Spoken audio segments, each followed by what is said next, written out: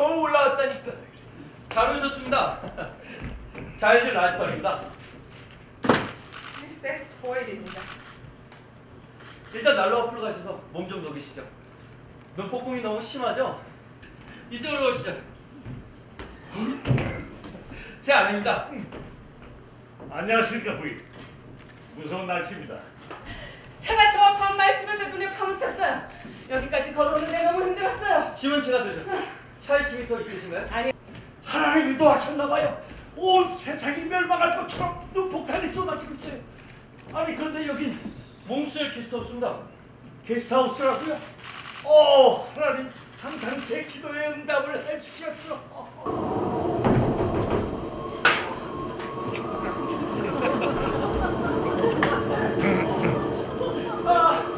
라스터 씨, 네, 처먹겠습니다.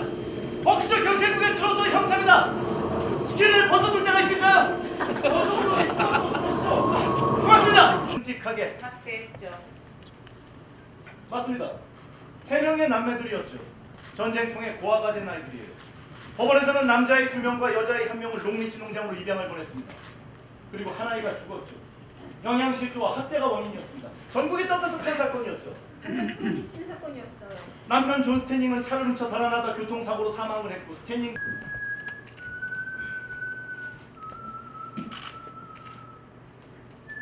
왜 그러시죠? 왜 불을 끄죠? A to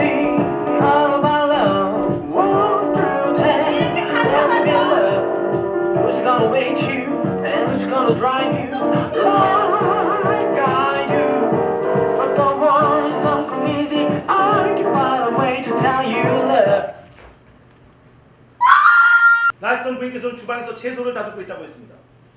주방을 나와 복도를 지나 이 문으로 들어오셨다고 하셨죠. 그때 방 안은 캄캄해. 라디오 소리가 크게 울렸다고 했습니다. 벽 등의 스위치를 켜는 순간 바로 이곳에 보일 부인이 죽어 있었고요. 아, 전 비명을 지르고 또 질렀어요. 숨이 강막혀서 숨을 쉬려고 비명을 질렀어요. 다들 한순간에 모였죠. 제가 이 창밖으로 전화선을 따라 나갔을 때 라스턴 씨 부인의 비명을 들었을 땐 어디 계셨습니까? 2층에 있었습니다. 그 전화도 끊긴 흔적이 있나 창문 밖을 내다보고 있는데 창문을 닫으려는 순간 비명 소리를 들었습니다. 침실에 꽤 오래 계셨던 것 같은데요.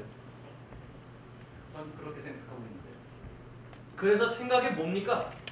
보일 부인이 피살됐던 때를 재구성해보려고 합니다. 아이고 그건 낡은 수법이에요 이상한 계획인데요. 똑같이 재구성하겠다는 게 아니에요. 결백한 사람들을 위해 재구성을 하겠다. 거기서 뭘 얻겠다는 겁니까? 죄송하지만 지금 당장은 밝히지 않겠습니다. 똑같이만 하면 되는 겁니까? 다른 꽁꽁이가 있는 건 아니고요. 전 사건을 해결하려고 하는 겁니다. 보일 부인이 피살되기 직전으로 돌아가 버리는 거죠. 그래서 뭘 얻을 수 있다는 건가요? 아, 저 이해가 잘 안 가요. 전 지금 저녁을 준비하느라 바빠요. 뭐 마음에 걸리시는 거라도 있습니까? 아니요, 그렇지 않습니다. 협조하기로 했으니까. 몰리? 알겠어요. 랜신. 미스 캐슬. 네. 파라비치니 씨. 해야겠죠 소령님. 아니요 전과 똑같이만 하면 되는 겁니까?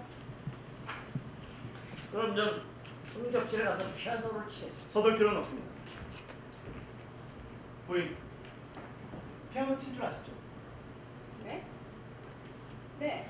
그렇다면 부인께서 눈먼 생쥐 세 마리 그 곡을 연주해 주시겠습니까?